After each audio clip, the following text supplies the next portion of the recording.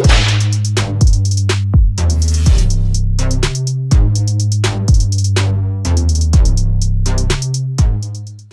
going on everybody? So today I am going to show you how to bench press without a bench.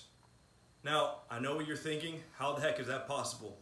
Well, what I'm going to be discussing today is the floor press, which is a awesome alternative to the bench press.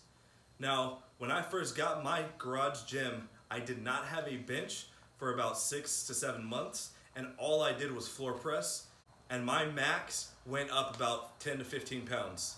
So it is a great alternative, and for a lot of you, it's going to be fantastic for you to change up your variation, get a new stimulus, and create a new adaptation for yourself. And it'll also increase your strength. So for the floor press, it's extremely simple. All you're doing is laying down on the floor. All right, so now the first thing I want to cover is foot position. There's two different ways that you can do this. You can either have your legs straight or you can bend your knees and put your feet flat on the floor.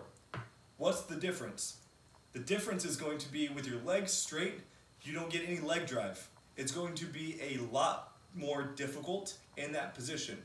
If you put those feet flat on the floor and bend those knees, you can get a good arch in the back, a good setup, and you can drive those feet into the floor, and that'll be a little bit more similar to the bench press.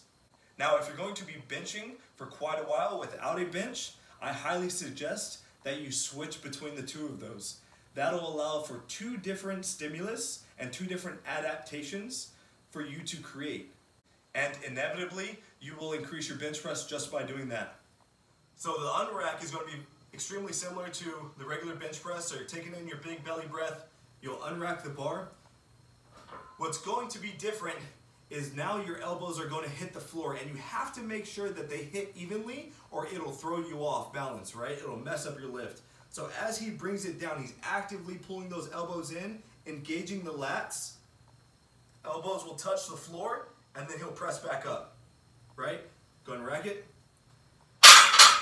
So this, whenever you go back to using a regular bench press, this will be beneficial for you because you're gonna really have to focus on pulling those elbows into your, towards your sides as you're coming down so that way you keep the bar under control and you hit your elbows evenly. Yeah.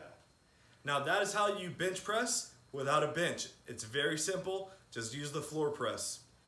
Now I hope you guys enjoyed this video. If you have any comments, feel free to drop them below. I'll help you guys out in any way that I can. Otherwise, go ahead, like, subscribe, and share this video with all of your lifting buddies. And until next time, stay strong. Boom.